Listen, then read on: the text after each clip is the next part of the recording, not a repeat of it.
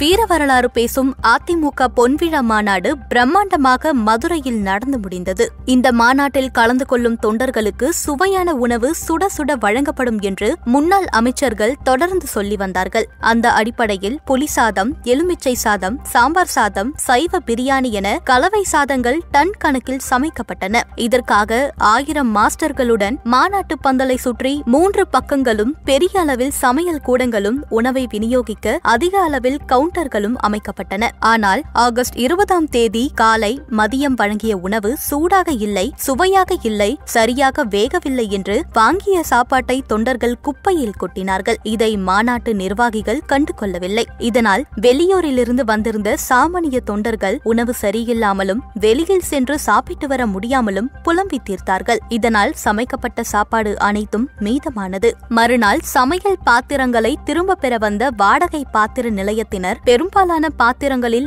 உணவு இருப்பதை பார்த்து அதிர்ச்சியடைந்தார்கள் அதை யாருக்கும் வழங்க முடியாத சூழல் அதனால் பெரிய பெரிய பாத்திரங்களில் இருந்த உணவை கீழே கொட்டி பாத்திரங்களை எடுத்து சென்றனர் அப்படி கொட்டப்பட்ட உணவு மலை போல் குவிந்து கிடப்பதை பார்த்து அந்த பகுதி மக்கள் அதிர்ந்து போயிருக்கின்றனர் மாநாட்டில் உணவு வழங்கும் குழுக்கு தலைமை வகித்த முன்னாள் அமைச்சர் காமராஜ் இதை பற்றி கண்டு கொள்ளவில்லை அன்றாட தேவைக்கே உணவு கிடைக்காமல் தவிக்கும் மக்கள் அதிகம் இருக்கும் நிலையில் இப்படி உணவை வீணாக்கிய சம்பவம் பரபரப்பை ஏற்படுத்தியிருக்கிறது